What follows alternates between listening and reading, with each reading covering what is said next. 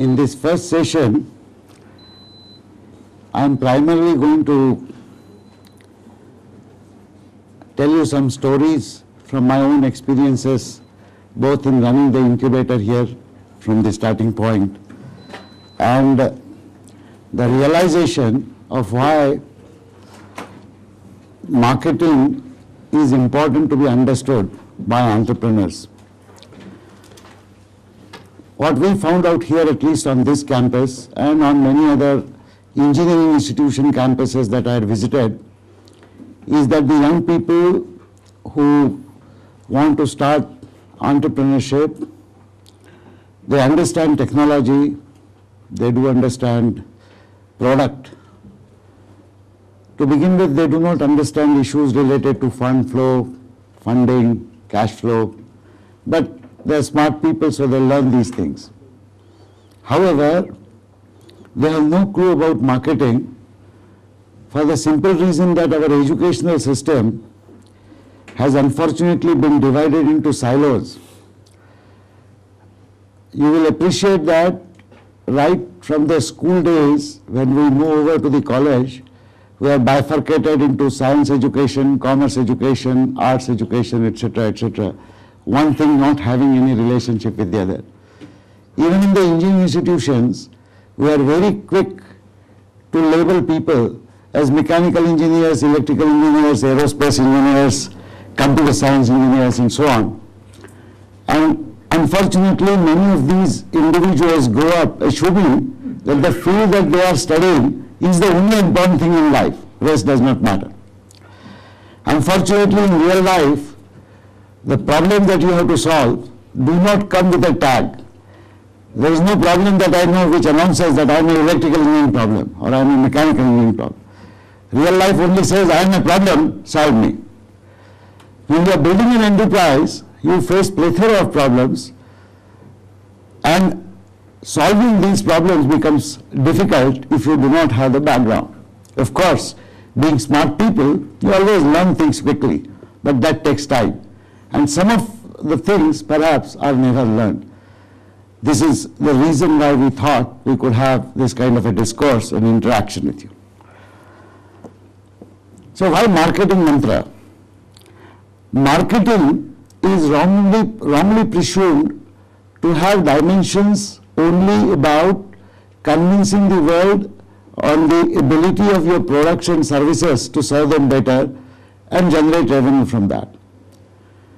That is not the only marketing that we are required to do. While that kind of marketing is going to be the theme of this entire course and other colleagues will be discussing that, I thought to begin with, I will describe the various dimensions of marketing that you need to be aware of. Let me begin with the notion of incubating companies themselves in an educational environment. I thought of doing this because distributed wealth generation on large scale can happen only through entrepreneurship. We have seen that in the developed world and we wanted to sort of incorporate that model. In 1998 when I started the School of Information Technology, we said two important initiatives we'll concentrate on. One was related to distance education, where we gave synchronous lectures using VSAT technology then. An offshoot of the same, by the way, is our Equiview project with the e-outreach program that I mentioned. Because the audio-visual recording, editing, transmission, etc. is something that we learned over the last eight years through that process. The other thing was starting a business incubator. Since I was starting a school of IT, it was natural for me to dub it as an IT business incubator. We started it as a pilot. We did not have any space here. We had some rooms given as faculty rooms for the new school. The faculty members had yet to join in sufficient numbers. I had six rooms and three faculty members. These were dingy 10 by 10 rooms in the ground floor of the old mass department building. So I set aside two of the rooms and said these two rooms shall house companies which have a startup. I had to market this concept within the institute itself, as Professor Amarnath mentioned. You will appreciate that most of the faculty members in academic institutions generally do not like money, wealth generation, etc., such concepts to what they say corrupt the academic minds of the young. My argument was that technology education is not like education in basic sciences or philosophy, where you are driven only by the desire to discover the truth, both globally and locally. The purpose of technology is to build gadgets, build systems, build implements, build products, provide services such that human life is made more comfortable. And provide these at affordable prices so that people can buy these things. Unfortunately, the affordability of prices is one issue, market determined prices is the second issue.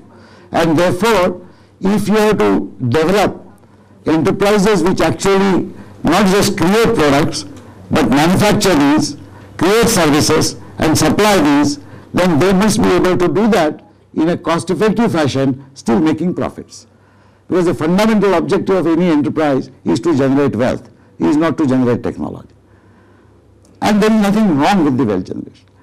You will recall that in the first 40 years of the nation's independence, because we followed a command economy pattern on the economic front and a socialistic pattern in our thinking, earning money was not considered a very great activity or great achievement.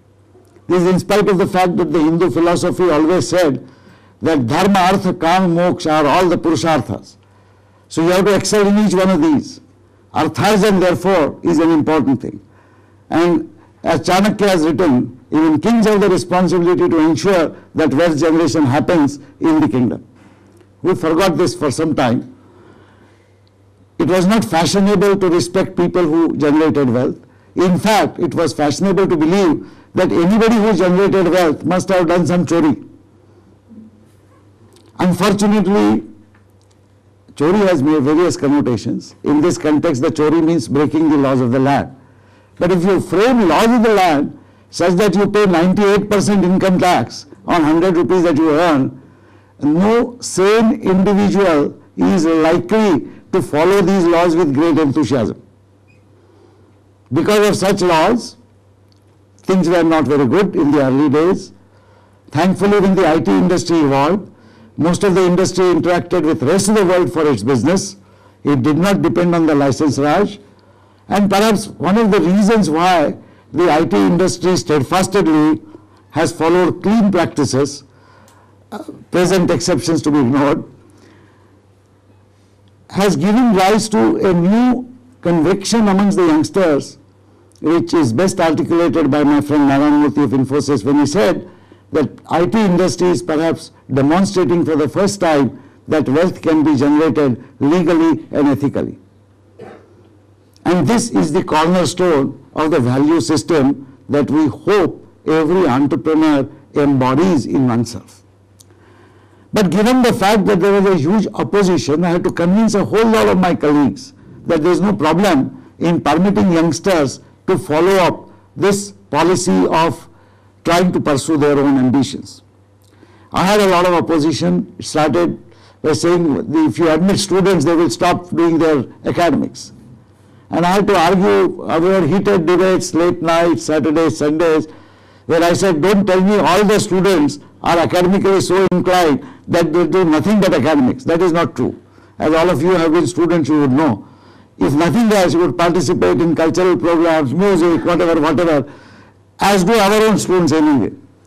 There are still a batch of, bunch of students who don't do anything worthwhile. They just while away their time. So you get all kinds. And your objective must be to enthuse people in the right direction.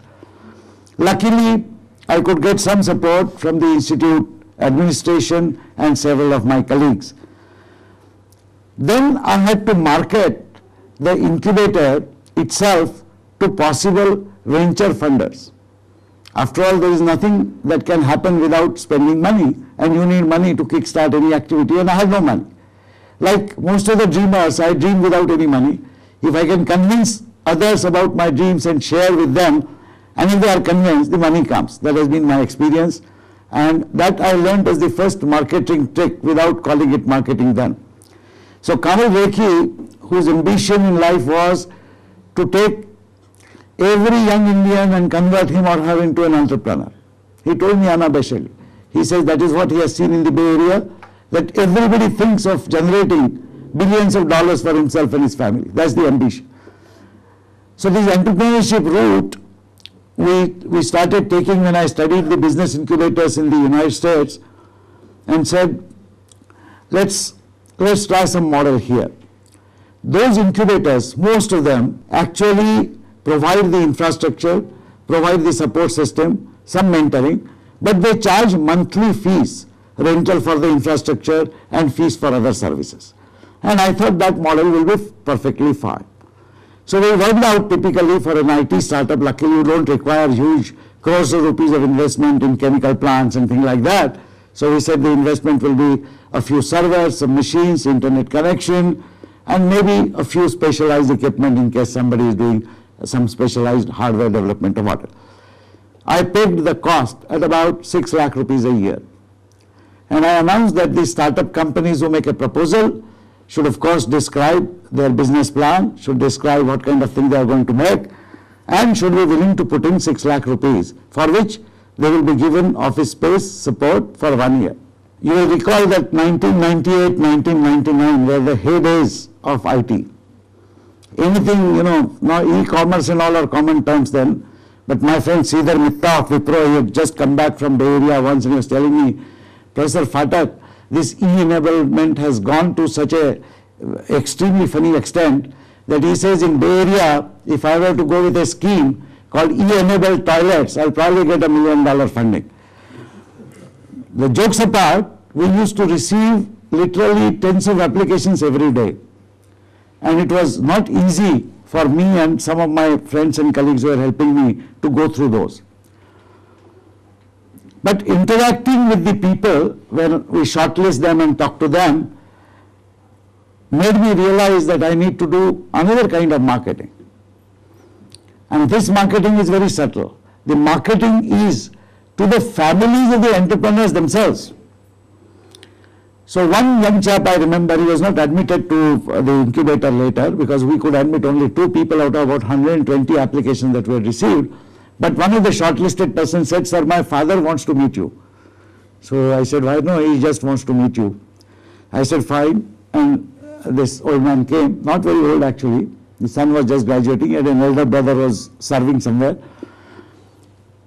So first he bombarded me, ये आपने क्या फितूर भर दिया मेरे बेटे के दिमाग में so I said, what does all mean? He's trying to do something like the family came from a traditional background of people engaged in uh, jobs, you know, services, good middle class family. He says, itna kharcha padega, but suppose he fails, what happens? I said, look, he has a BTech degree from IIT Bombay, tries for one year, if he fails, he will definitely get a good job. I mean, there's absolutely no issue. He says, itna kharcha. So I said, you have three partners, can't a family borrow 2 lakh rupees or put 2 lakh rupees and, and get it started? Then he came up with a very peculiar problem. He says जो आप कहते हैं ठीक है साहब दो लाख का loan भी ले लेगा वो but if he fails after one year and as you say will get a job all right but if he start A job with two lakh rupees loan on his head उससे शादी कौन करेगा So I said, I beg your pardon. He says, no, his, his uh, reputation will be mud. He has loan of 2 lakh rupees, he has failed and he has just started a job, wo to gaya kaam se. I tried to convince him that no such thing will happen but he was, he was worried.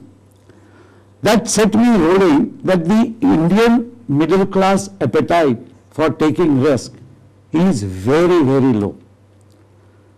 I mean, unless your name is uh, Shah or Jain or Ambani or Chettiar, where the business acumen flows in your blood because of the Gujarati people. Oh, Gujarati, whatever.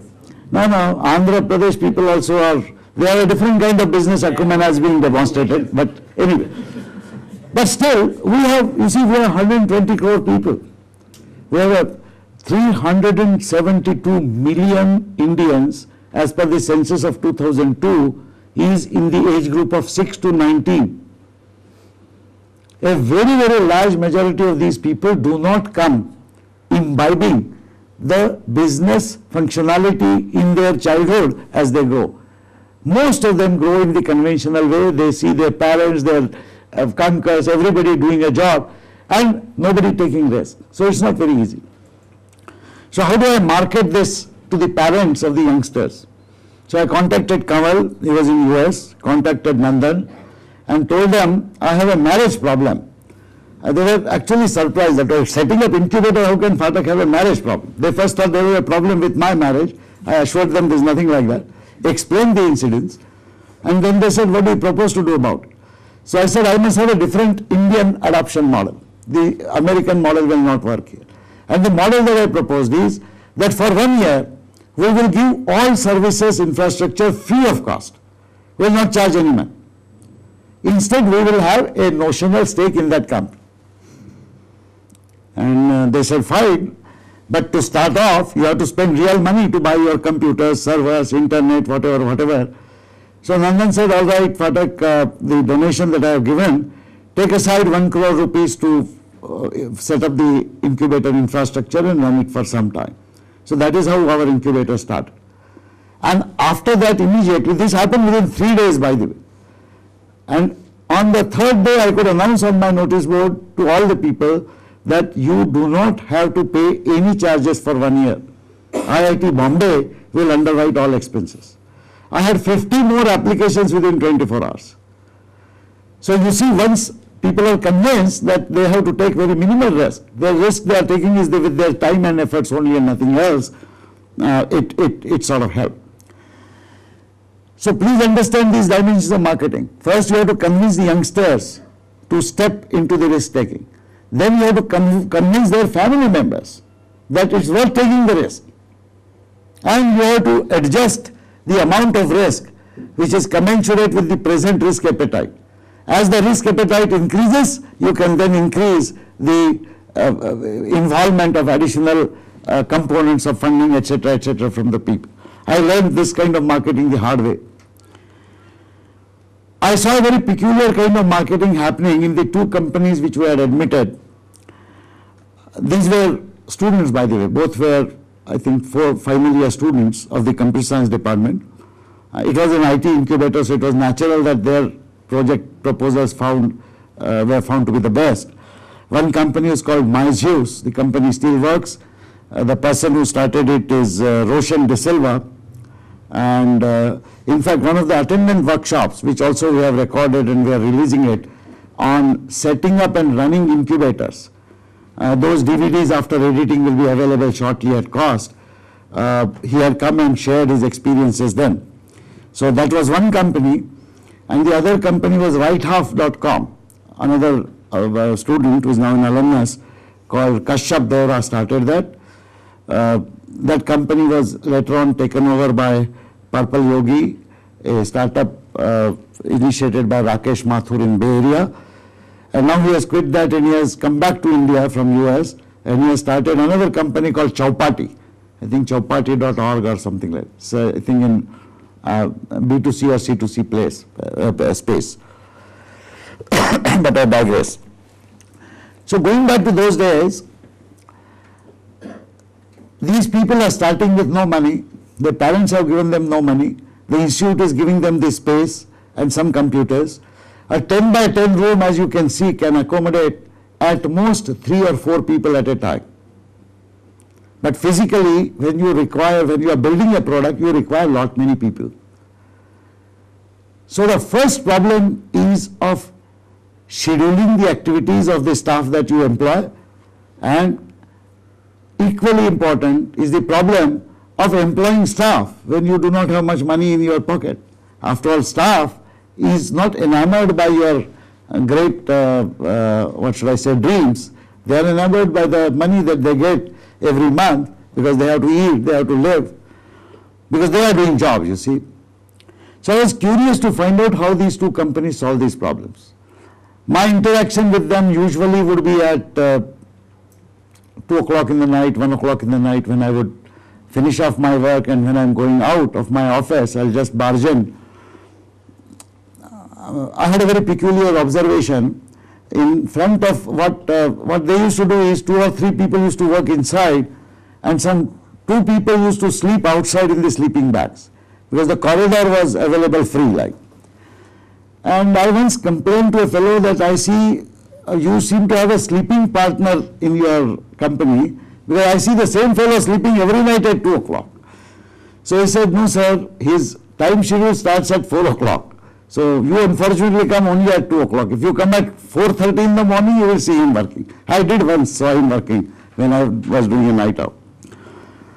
What I was curious about is, how do they convince these youngsters to join them as staff? I found out that they were offering shares as salary. Now this is something completely common, you will all be familiar with that, but in India it was not common to hire people giving them ESOPs to begin with. You know, you earn ESOPs as you work. A small percentage of uh, uh, this thing and so on. And no money at all, zero money. Now you can see what kind of marketing these youngsters must have done to convince people sometimes older than them that this company's dream is so exciting that you will make huge amount of money within one year or two years if you join us and work for us for zero money. So they had actually convinced them or marketed to them the notion of risk taking. Limited risk, limited rewards, but they could market this. I remember one conversation I heard again at 2.30 or 3 o'clock. I saw some people discussing in the round table which was just outside these two cabins. And the discussion was, when I stepped in, one fellow's back was to me, to the door. He was saying, but that company is giving me 1%. So I was just curious. I went in. The person sitting there was the prospective gold medalist of that batch. He was going to pa pass out and these people apparently were trying to hire him for a summer. He was going, I think, to Carnegie Mellon or Stanford for doing his PhD. As you know, the American PhD program starts in September, and this job would be free May, June, July, August. So it's four months you work. Again, there's no money to pay that I knew. So what I surmised is that there is a tussle between the two companies. After all, if you can get a gold medalist of IIT Bombay for four months, you should be able to pay him anything. So he was arguing that that fellow is giving me 1%, you are offering me only half percent. So why should I join you? And then I, I was interested, so I heard this fellow doing extraordinary marketing to a prospective employee. He said, look at it this way. This is our business plan. Our growth is like this. Our revenues are going to be like this. Our margins are like this. And therefore, our valuation at the end of one year is going to be this much whereas that fellow's valuation is going to be only this much. So will you have 1% of a very small amount or half percent of a very large amount?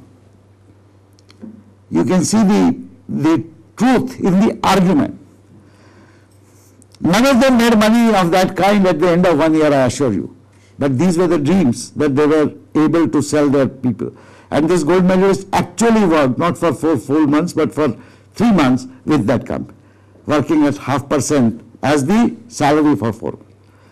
And you will agree that half percent of any successful venture is actually a huge sum of money with proper valuation at a later date. So coming back to the notion of why marketing mantra is required, I would like to emphasize again that marketing is not just about production services. That is of course the prime reason why we are all here and that is what we will discuss later. But you have to market about the notion of starting an enterprise to everybody around you. If you are going to take risk, you have to market this notion to your family first. If you start an enterprise, you have to market this notion to create conviction amongst the fellow employees whom you hire to work. Because if they are not convinced they will not put their heart in their work. They may put just their mind, and that is of no use. As you will all recall, most of you are entrepreneurs. Unless heart and mind both work, the productivity in measurable terms is very little, uh, very limited. I would go one step forward and say that even when you hire employees, whether by using these kind of mm, uh, innovative mechanisms or ordinarily, it is important to keep marketing the dreams of your company to your employees every once in a while. As you know the basic physics law, left to itself entropy increases. So if you leave employees to themselves, they will of course continue to work, but slowly the enthusiasm levels may go down. Slowly the reality of bad world may start hitting them as much as it must be hitting you. They may realize that the dreams may not come true to the extent that have been projected or dreams may not come out at all. And that is the way, that is the time when you, you need to buttress their level of conviction. I do not know whether you have ever thought of doing a serious marketing to your own employees as an important strategy element of your organization. Because there you are dealing with human beings, just like you deal with human beings when you market your product. But those human beings represent large organizations or individual consumers who have spare money to give you to buy your services and product. Here, you are trying to convince people about dreams which you are also struggling to realize. We are perhaps as teachers better placed because after all, what do we sell to our students? We are dream merchants. So when I market, let us say, a new initiative in IIT and go to my alumni and other philanthropists saying, will you please fund this activity by giving $1 million or $2 million, knowing fully well that that particular uh, philanthropist or philanthropist or the alumnus is not going to gain anything personally except perhaps name. And that person will gain name only when the activity actually shows the kind of results for which that person is donated. So effectively what I am doing when I am doing fundraising, I am doing marketing. And what am I marketing? I am marketing dreams. So we teachers are actually dream merchants. We sell dreams to our students, we sell dream to people, we sell dream to power, we sell dreams to everyone. I realize that selling dreams is perhaps the single most important marketing dimension of an entrepreneur. Look at it this way, when you think of doing entrepreneurship, when the first thought would have occurred to you, you yourself would have gone through a lot of turmoil. Should I do it? Should I not do it? You are trying to convince yourself that the risk is worth taking. The first marketing, according to me, that you do is to yourself. You convince yourself that the dream is worth taking this for. And you convince yourself to such an extent that you are willing to put in everything that you have behind that dream. As an implication, as I said, you have to do marketing to your parents, you have to do marketing to your employees, both prospective and real. And this marketing dimension has to be very subtle. You can't call a meeting of the employees and say marketing to employees is the today's discussion topic. You have to do it very subtly. You have to convince them because you are selling them dreams and you must continue to sell them dreams. The next is you have to market your ideas to venture capitalists. VC funding requires an uncanny amount of marketing and a completely different kind of marketing, which is unfortunately not taught even in our schools of management, even in marketing courses, because the marketing has traditionally been associated with marketing of products and services.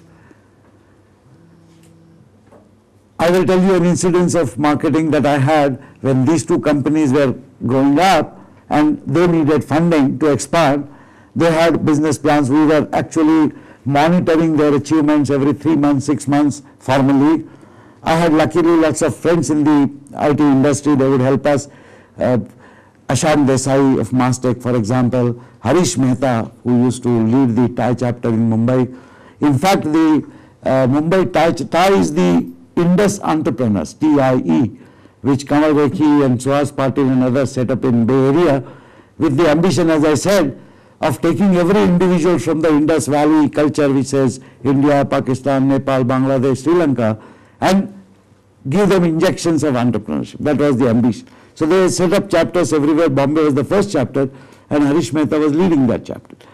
So I remember I had taken these two companies to a dinner hosted by Mr. Kamath in ICICI, and I formally handed over these two companies to TiE for mentoring, saying we have established them, we are supporting them, but to mentor them, to help them rise to the levels that you see in Bay Area is now the joint responsibility of these uh, well-meaning people from the society, and TiE chapter is best place.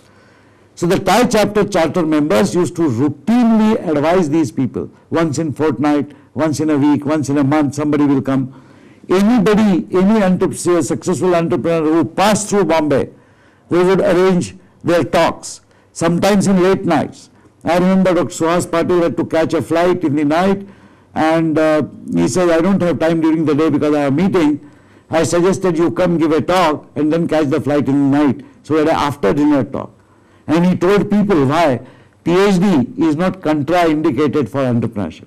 As you know, Dr. Suhas Patil is a PhD, as a faculty member for many years before he started his enterprise.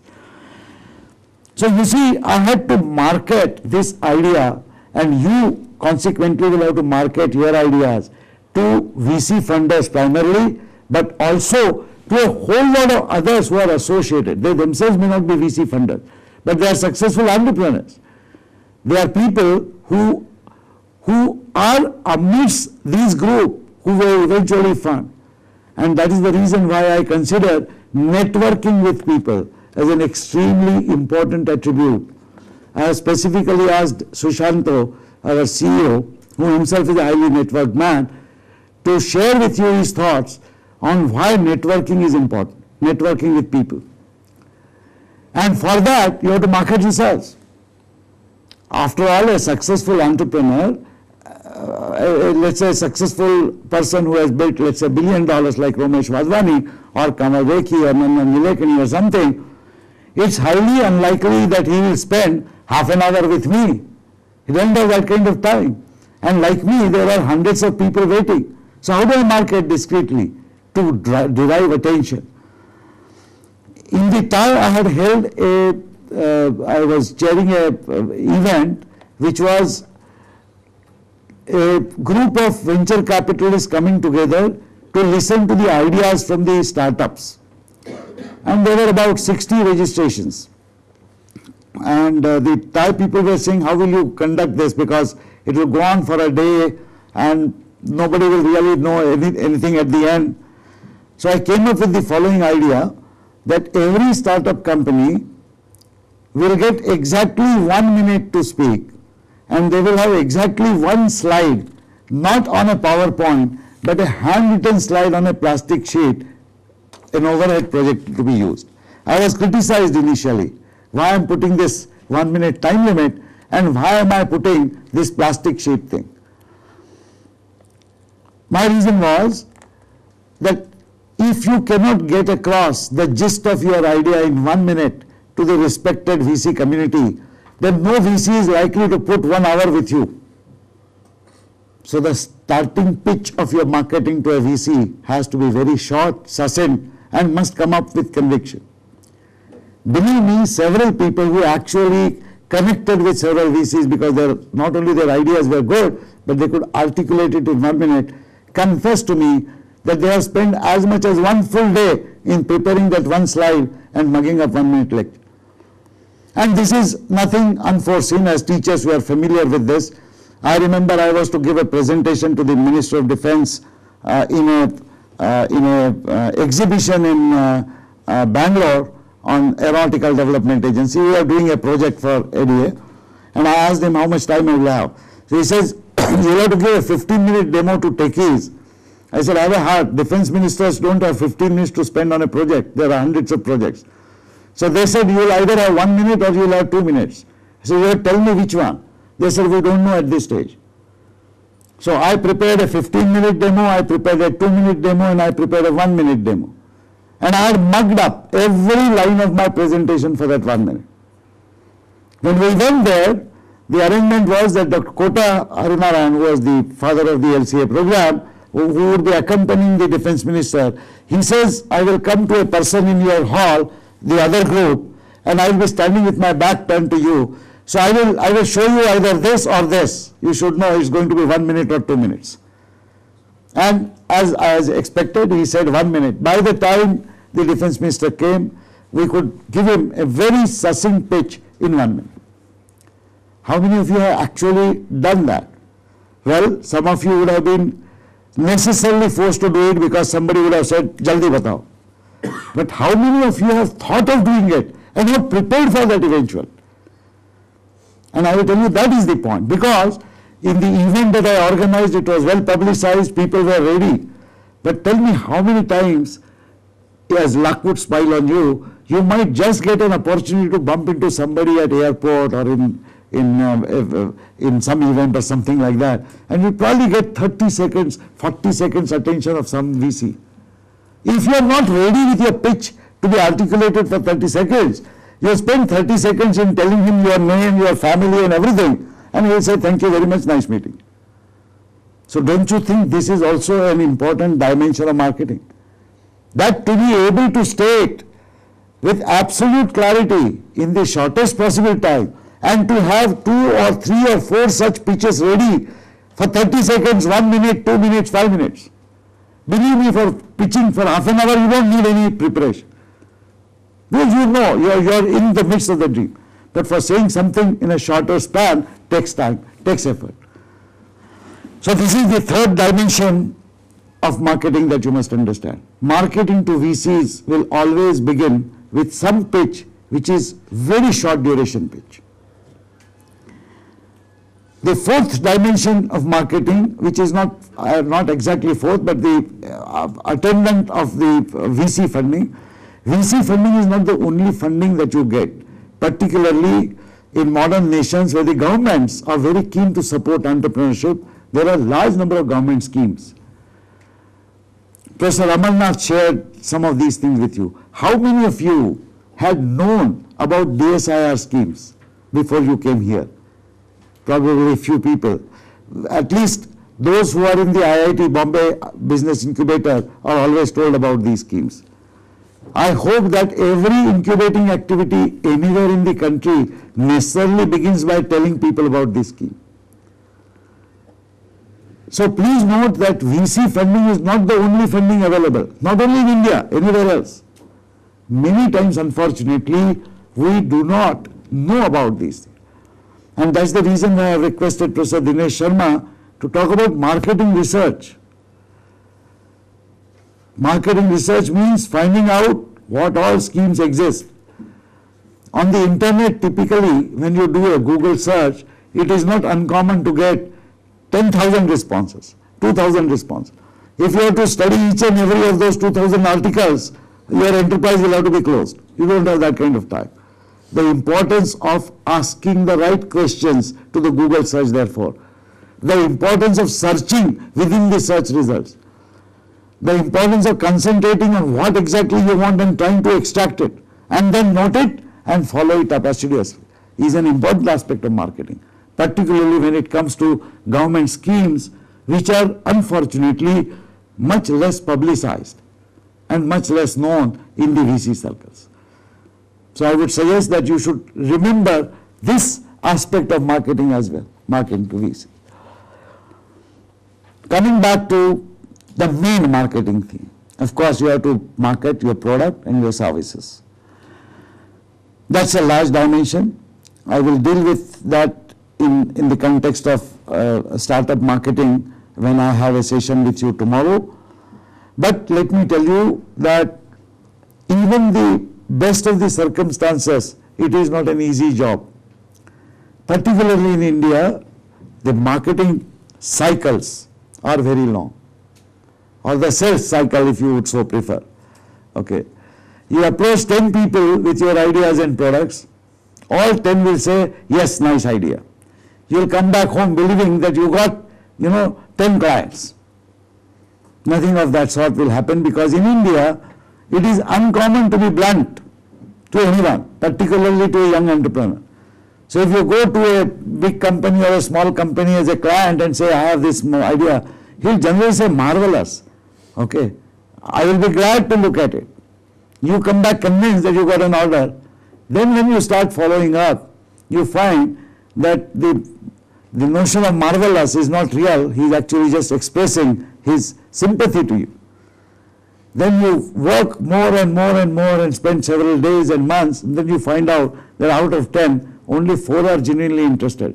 Because then you find that there is actually a match between their requirements and what you are giving. And that is the time you have to do other marketing to yourself and to your team. What is that? If you find that your product or services are not aligned to what the market needs, then whatever great technology, product or services you have to offer, you'll never make money out of it. So you have to modify your product. If necessary, you have to change the complete product line if you do not see a market response. No matter what your initial studies had indicated when you did the market survey. Because at that time, your observations might have been true, but they don't seem to be true now because the reality is different. The market apparently loves some different idea. And if it does, you better change that. And that is the hardest marketing to do because you are marketing this change of strategy to yourself and to your team. You have by this time a chief technology officer, you have a team, and they are all convinced about that idea because they are working in it. Kamal says it very beautifully. He says, don't fall in love with your ideas. I have added to it, fall in love with ideas which the market loves. And it is extremely difficult to accept that my idea will not sell anymore. Because after all, my entire conviction, my entire dream is based on that idea. I have slogged for months to get something developed. And it is not easy for me to give up. I will still say, no, no, no, uh, something more is required, but this is the idea that will save the world or whatever. And I will persist in the process, losing vital time and vital money. Again, going back to my incubator experience, one of our own MTech students, uh, as an alumnus, he has started a company, extremely flamboyant person. He genuinely believed that he has technology which will solve all enterprise problems and whatever. We tried to tell him that it is not so. There are many smarter people who have tried that kind of thing and even the ERP packages don't solve it. But he had specific technology developed. You might have heard the name B.V. Jagdish. He is one of the successful entrepreneurs in US who had actually worked in developing and selling that product and he had a, a large uh, a billion dollar IPO, uh, so he was a fairly rich person. And I said, look, Jagdish seems to have worked in this, so will you, why, have you discussed this with anybody in his company? Of course, these are small young startups, Jagdish does not have time, so their emails were not being responded. I found out that Jagdish was coming to India.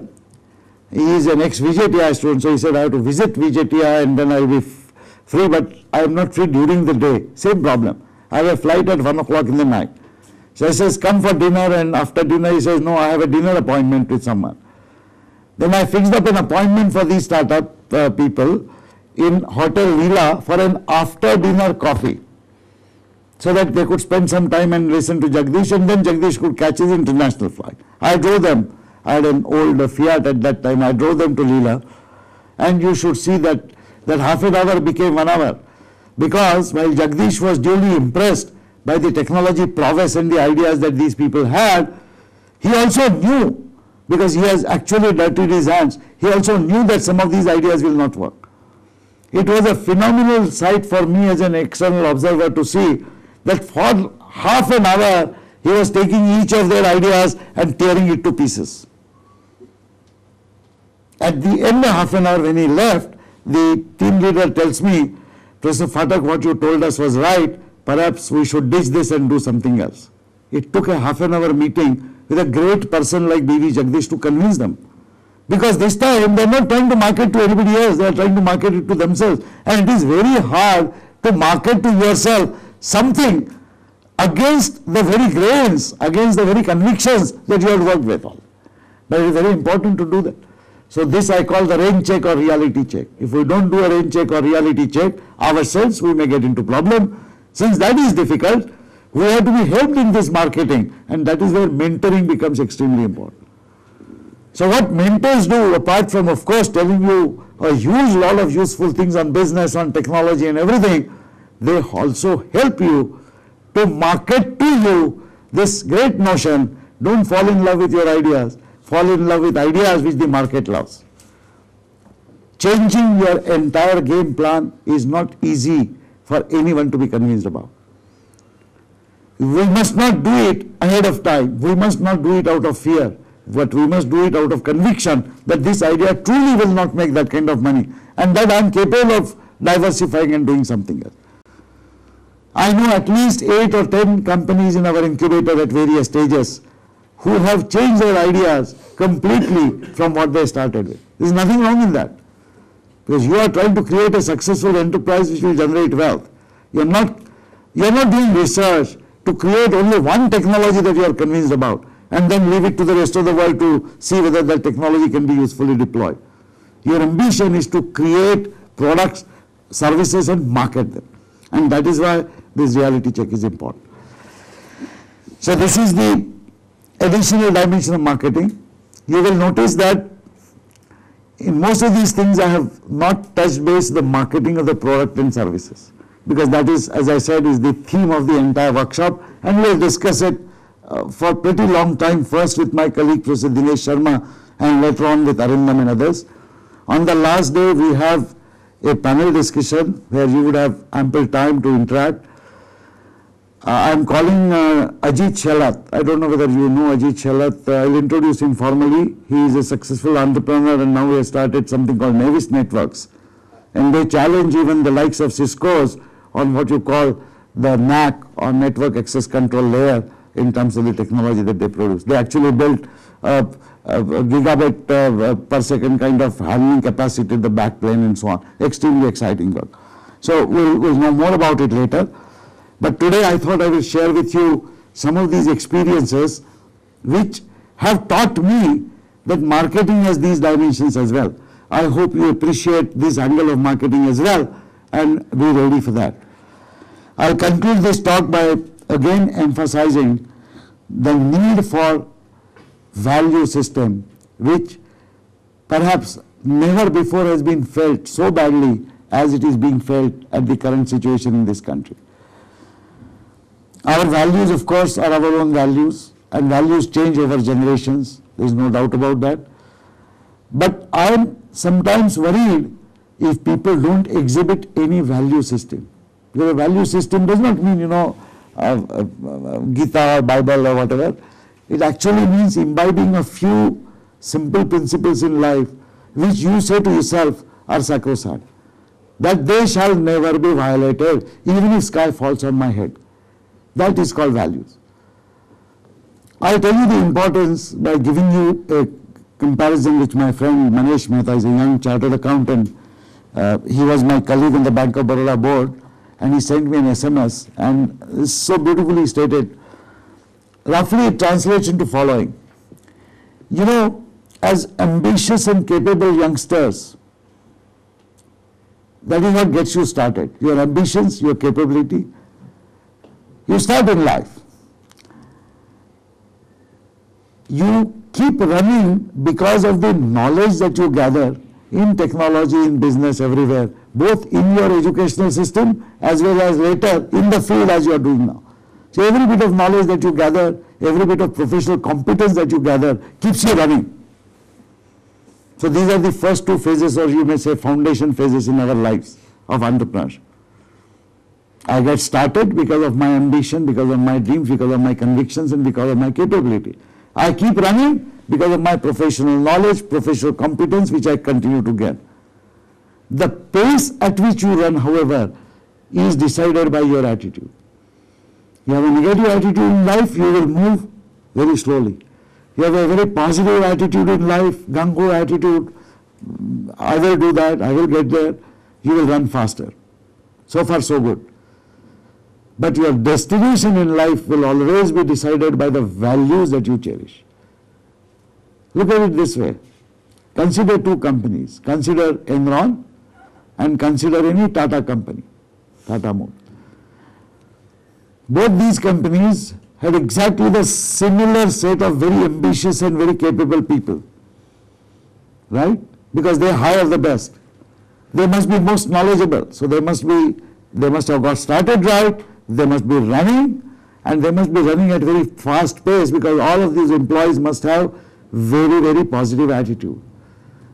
What was the difference? The values. Wrong values made one company into Enron, right values make a company into Tata. You have to decide what destination you are choosing. Whether in marketing or whether in your running business or anything that you do, please set for yourself some values. I don't care what they are. I am perfectly aware that at 60 years my values would be different than values that you follow. So I'm not worried about that at all. Values do change over time, but there are a few values which are perpetual. They are simple human values. Treating people with respect. This is common sense. Okay. So there are some values like that. In fact, if you see most of the religions, what they do is they take these common sense good values and emphasize that you must follow them. But since you are in business, since you are in business in these times, you must take some of these values and translate them into Lakshman Rekhas for you. Come what may,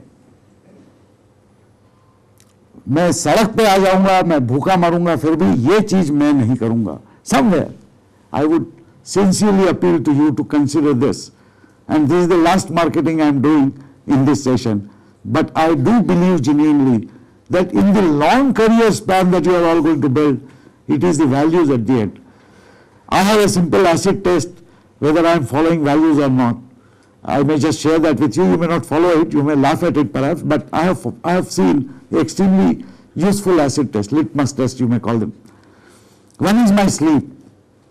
By God's grace, I get very sound sleep wherever I sleep. There are occasions when during the day something has happened, but still that turmoil will last for maybe half an hour, one hour, but I do get sound sleep. From interaction with several people, I have come to understand that if there is something wrong that has been done by you somewhere, your sleep will be the first thing to be perturbed. It might be useful to look at whether you can get a sound sleep or not. Of course, I, one friend jokingly commented when I observed this as a litmus test, he says, look, if I am a die-hard criminal, I'll actually sleep better when I have killed two people that day. No, that's, uh, we are not talking of such people. We are talking of decent, ordinary human beings who are capable and ambitious youngsters. So we're not talking about those people. The second litmus test I found to be very useful is that whenever I am in doubt whether I have done right or wrong, stand in front of a mirror and try to see the into the eyes of what the mirror reflects. That is me only. If I can see myself into the eyes, I know for sure I have done nothing wrong. If I have to even slightly bend my eyes, there is something wrong and I must correct myself. These may sound to be too simplistic and uh, uh, rather foolish litmus tests, but I thought I will share them with you because I have found them to be extremely useful in my life. You may develop your own litmus test, you may develop your own value system, but please remember, you have to be on guard every moment of every day because temptations are galore in this world. And temptations, we say, okay, I'll just do this once, maybe I'll tide over this problem you may, before you realize what is happening, you may get used to doing it. And if nobody discovers, then you may believe that there is nothing wrong. And that's the problem. One value system with the armed forces follow. I remember as a third year engineering student in 1965, one officer was telling me that the fundamental value is you buy a ticket because you are traveling in train, not because a TC will catch you otherwise. So the values are to be respected because of your own. And whatever amount of marketing you do, you please follow some values that you define for yourself. Thank you very much. We'll break for tea now.